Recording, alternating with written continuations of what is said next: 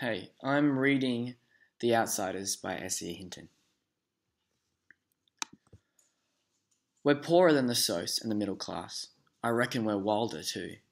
Not like the Socs, who jump greasers and wreck houses and throw beer blasts for kicks, and get editorials in the paper for being a public disgrace one day and an asset to society the next.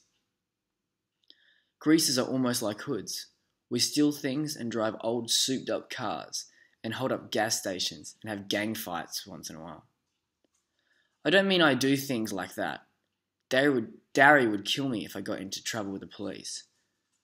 Since Mum and Dad were killed in an auto wreck, the three of us get to stay together only as long as we behave. So Soda and I stay out of trouble as much as we can, and we're careful not to get caught when we can't. I only mean the most greasers do that, uh, do things like that just like we wear our hair long and dress in blue jeans and t shirts, or leave our shirt tails out and wear leather jackets and tennis shoes or boots. I'm not saying that either Socs or Greaser are better. That's just the way things are. I could have waited to go to the movies until Darry or Sodapop got off work. They would have gone with me, or driven me there, or walked along, although Soda just can't sit still long enough to enjoy a movie, and they bore Darry to death. Jerry thinks his life is enough without inspecting other people's. Or I could have gotten one of the gang to come along, one of the four boys Darry and Soda and I have grown up with and consider family. We're almost as close as brothers. When you grow up in a tight knit neighbourhood like ours, you get to know each other real well.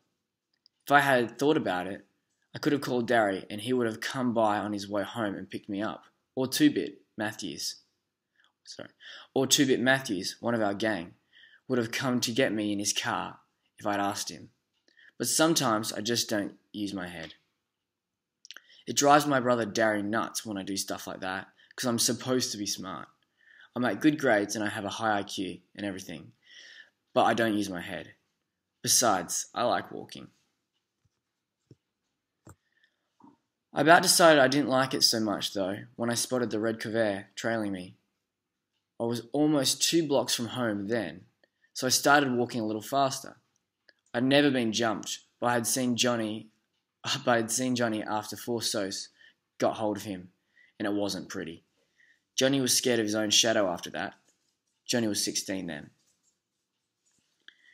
I knew it wasn't any use though, the fast walking. I mean, even before the Corvair pulled up beside me and five Socs got out, I got pretty scared. I'm kind of small for 14, even though I have a good build, and those guys were bigger than me. I automatically hitched my thumbs in my jeans and slouch, wondering if I could get away if I just made a break for it. I remembered Johnny, his face all cut up and bruised, and remembered how he how he had cried when we found him, half conscious in the corner lot. Johnny had it awful rough at home.